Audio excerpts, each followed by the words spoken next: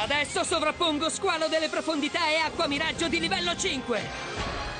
Con questi due mostri costruisco la rete di sovrapposizioni. Evocazione Xesa, numero 94, zero cristallo!